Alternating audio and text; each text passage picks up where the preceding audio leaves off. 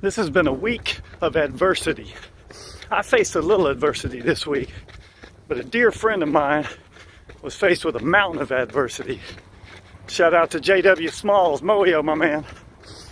Adversity is defined as difficulties or misfortune along our journey.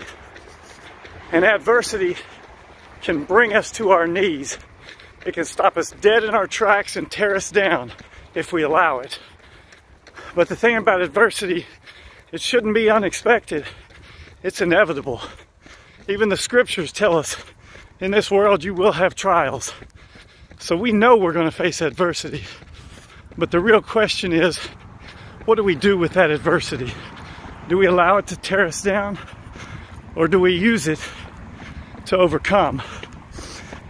Over the next three days, I want to give you three strategies to overcome adversity, to make the most out of the adversity that comes your way.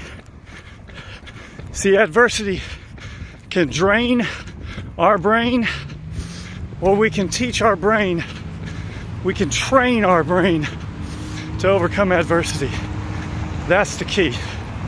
So, I want to talk about three steps to overcome adversity. Step number one, or strategy number one, I call the next step. And it's the most important step. Strategy number two is to see every adversity as an opportunity. Strategy number three don't avoid adversity, attack adversity. Two and three, we'll talk about the next two days.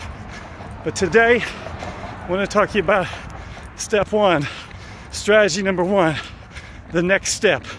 It's the most important step in overcoming adversity. See, when adversity attacks you and you're just rocked to your foundation, what you really feel like doing is just stopping. But the most important thing you can do is take the next step and keep moving forward. I'm a marathon runner. I've run 52 marathons in my life, and I've finished every one. There were times when my body told me to stop. There were times when my mind told me to stop. There were times when the weather made me want to stop.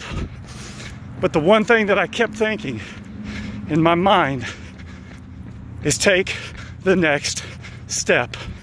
Never stop moving forward. And that's the same in life. When you're hit with adversity and you just want to stop, feel sorry for yourself, take the next step. Keep moving. No matter how high the mountain, how steep the climb, take the next step. A few years back, my boys and I climbed some 14,000 foot peaks in Colorado, and the air was thin, the climb was steep, and there were times when I just really wanted to stop. There were times when every single step was a struggle, but what I had to keep doing was taking the next step.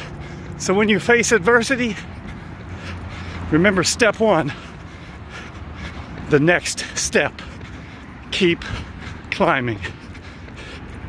And MOEO everywhere you go.